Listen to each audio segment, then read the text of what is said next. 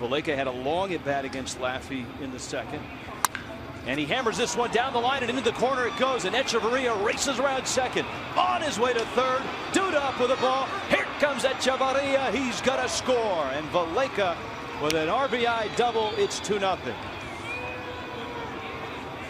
Boy, you love it when a guy gets an opportunity. And Valaika with his uh, first at bats of the year, his first start of the season. And right now he's two for two with an RBI. Hechavarria was flying. Once this ball got past David Wright, it found that corner in the left field. By the time Lucas Duda was able to run it down, Hechavarria was almost all the way home.